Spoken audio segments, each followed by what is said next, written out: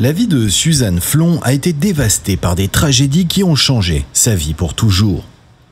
Suzanne Flon était une actrice française dont la vie et la carrière ont été marquées par des hauts et des bas.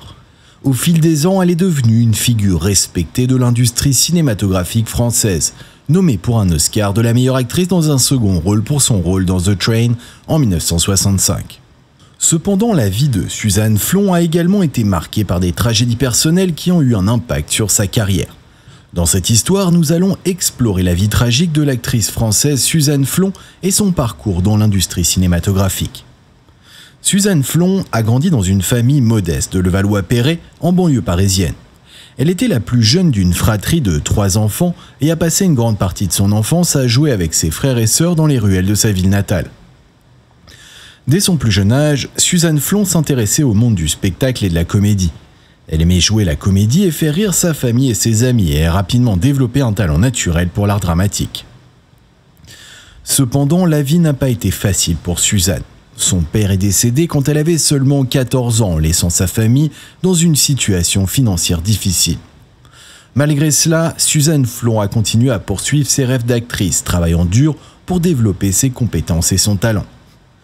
À l'âge de 18 ans, elle a commencé à étudier l'art dramatique à l'école Charles Dulin de Paris, où elle a eu l'opportunité de travailler avec certains des plus grands acteurs et metteurs en scène de l'époque. C'est là qu'elle a commencé à se faire un nom dans l'industrie théâtrale française, en jouant des rôles de plus en plus importants sur scène. Après avoir étudié l'art dramatique à l'école Charles Dulin de Paris, Suzanne Flon a rapidement commencé à travailler sur scène, jouant dans des pièces de théâtre en France et à l'étranger. Elle a gagné en notoriété grâce à ses performances remarquables, devenant l'une des actrices les plus en vogue de l'industrie théâtrale française des années 1940. En 1945, Suzanne Flon a fait ses débuts au cinéma dans le film Falbalas de Jacques Becker. Bien que son rôle soit relativement mineur, sa performance a attiré l'attention des réalisateurs et des producteurs de cinéma qui ont rapidement commencé à la considérer pour des rôles plus importants. Au cours des années qui ont suivi, Suzanne Flon a continué à jouer dans des pièces de théâtre tout en travaillant sur des films de plus en plus importants.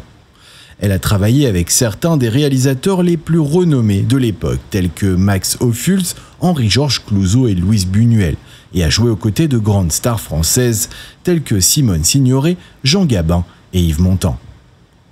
En 1952, Suzanne Flon a été récompensée pour sa performance dans la pièce de théâtre La Reine Morte avec le prestigieux prix du syndicat de la critique. Cette reconnaissance a renforcé sa réputation d'actrice talentueuse et respectée dans l'industrie théâtrale française.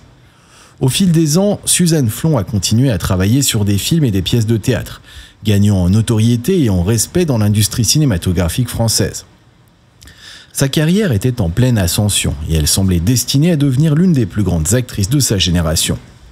Dans les années 50 et 60, Suzanne Flon était l'une des actrices les plus respectées et les plus admirées de l'industrie cinématographique française.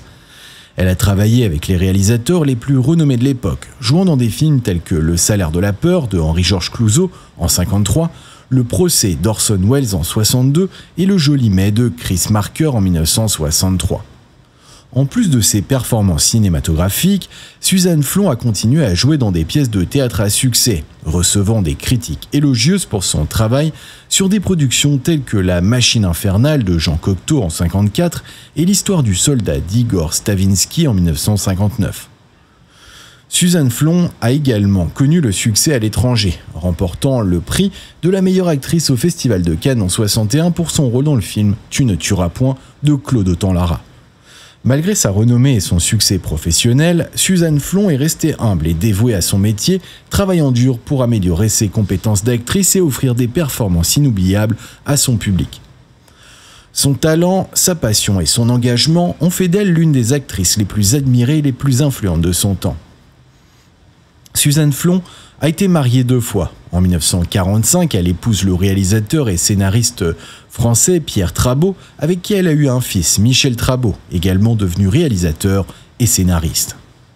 Le couple a travaillé ensemble sur plusieurs projets cinématographiques, notamment sur Le Dernier des Six de Georges Lacombe en 1941 et Le Pays sans étoiles de Georges Lacombe en 1946. Cependant, leur mariage s'est soldé par un divorce en 1956. Suzanne Flon s'est ensuite mariée avec l'acteur français Marcel Mouloudji en 1959, mais leur mariage s'est également terminé par un divorce quelques années plus tard. Suzanne Flon est décédée en 2005 à l'âge de 87 ans, laissant derrière elle un héritage de performances remarquables et de contributions significatives à l'industrie cinématographique française. Malgré sa réussite professionnelle, la vie de Suzanne Flon a été marquée par plusieurs tragédies. En 1972, son fils Michel Trabot, âgé de 28 ans, est décédé dans un accident de voiture en Italie, laissant Suzanne Flon inconsolable. Cet événement a eu un impact profond sur elle et a changé sa vie pour toujours. En outre, Suzanne Flon a été diagnostiquée avec une maladie grave en 1995 qui a limité sa capacité à travailler et à vivre pleinement sa vie. Elle a continué à jouer et à donner des performances inoubliables malgré sa maladie, mais elle a dû faire face à des défis et des douleurs physiques constantes. En dépit de ces tragédies, Suzanne Flon est restée forte et déterminée et a continué à travailler dur pour offrir des performances exceptionnelles à son public. Elle a utilisé sa douleur et sa souffrance pour enrichir son jeu d'actrice créant des personnages complexes et émouvants qui ont touché le cœur de millions de personnes. Aujourd'hui, nous nous souvenons de Suzanne Flon pour son talent exceptionnel en tant qu'actrice et pour son dévouement envers l'art et la justice sociale. Nous rendons hommage à sa vie et à son héritage durable qui continue d'inspirer les artistes et les militants du monde entier.